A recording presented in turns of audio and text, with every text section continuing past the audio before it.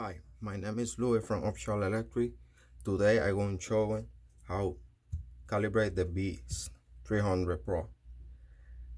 First, turn on your transmitter, connect your battery and your receiver. Your receiver going on the long servo wire, the longest one. The short one is going to for use just the card when you're going to calibrate just press your push button.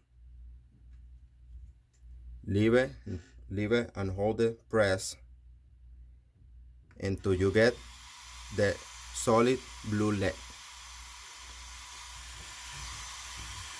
then you get into the calibrate mode. Then get your remote press full throttle until you get the solid light then put it in reverse until you get the solid light. Then leave it neutral until you get the solid light. Then just press for short of the ESC now it's already calibrated. We go to test.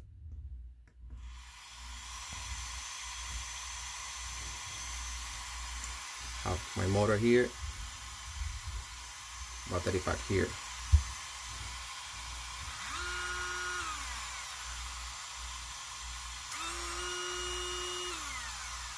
Spinning fine have a brake reverse. Everything now working fine. Thank you for watching